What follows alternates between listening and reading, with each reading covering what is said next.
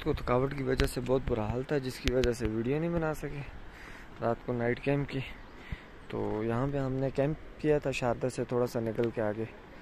तो अभी हमने जो है तो बाइकों पे सामान वगैरह दोबारा बाँध दिया तो अभी हम यहाँ से फिर आगे अपना ताओबाट के लिए सफ़र शुरू कर रहे हैं।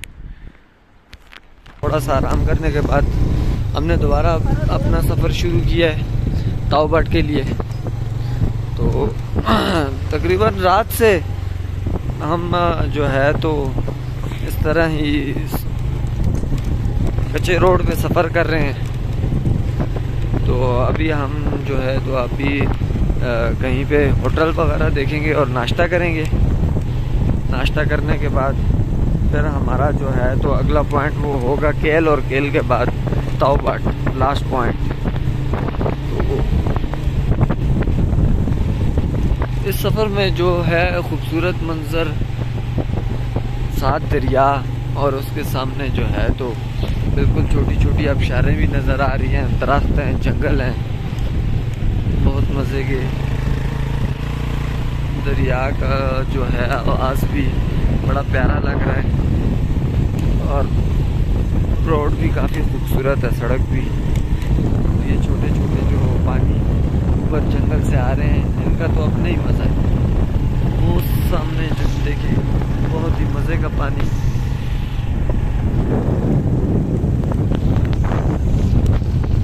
इसी तरह हर पाँच मिनट बाद ऐसा पानी देखने को मिलता है, जो दरिया में आके मिलता है। और फाइनली हम केल पहुँच गए हैं। केल के बाज़ार में।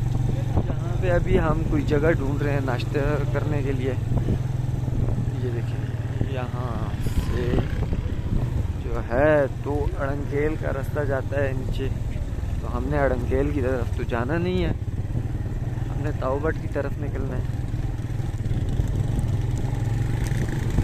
तो अभी हम कोई मुनासिब सी जगह ढूंढ के वहाँ पे बैठते हैं नाश्ता करने के लिए।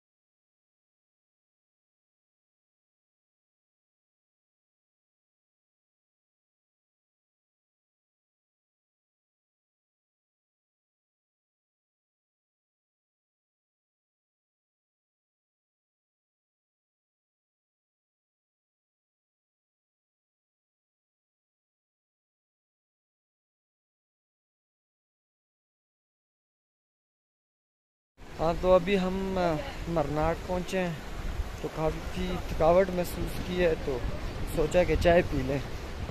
तो यहाँ पे बैठ के अभी चाय पीते हैं, बिल्कुल दरिया के किनारे। प्यारा व्यू है यहाँ पे। बिल्कुल दरिया के किनारे। खूबसूरत मंजर था, अच्छी जगह थी तो सोचा यहाँ पे चाय पी लें। सरदारी गाँव। बट जाते हुए रास्ते में आता है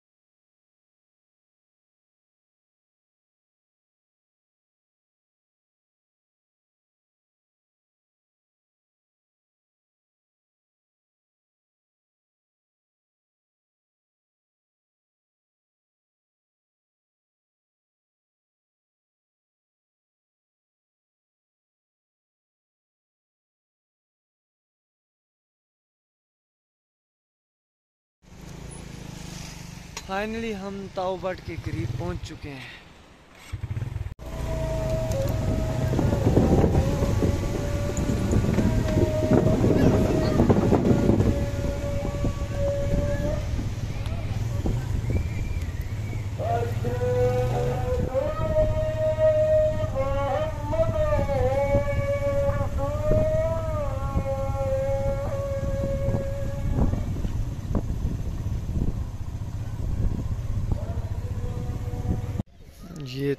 जो ताउबट का आखिरी पॉइंट है। यहाँ से आगे जाना मना है। तो यहाँ पे हमें रोक दिए और हम अभी यहाँ पे बैठे हैं इन भाई के पास चाय पीने, होटल वाले के पास। तो यहाँ पे बैठेंगे। ये हमारे बाइक खड़े हुए हैं। और यहाँ पे पूछते हैं कि कैंपिंग का क्या सीन होगा, कहाँ पे कैंप करेंगे। ताओबट बाज़ार से निकल के हम अभी ताओबट वाला की तरफ़ जा रहे हैं जहाँ पे हमें अपना कैंप वगैरह लगाना है। तो ये जो है तो ताओबट बाला का रास्ता है। और माशाल्लाह। बहुत खूबसूरत जगह है और उसके बाद संभाले संभालने के बाद जो है तो कैंपिंग सामान पैक किया। और जाने का दिल तो नहीं कर रहा था लेकिन क्या करें? मजबूरी थी क्योंकि ये जगह बहुत खूबसूरत है। तो वो खूब इंजॉय किया आपने टूर यहाँ पे चाय बना रहे हैं।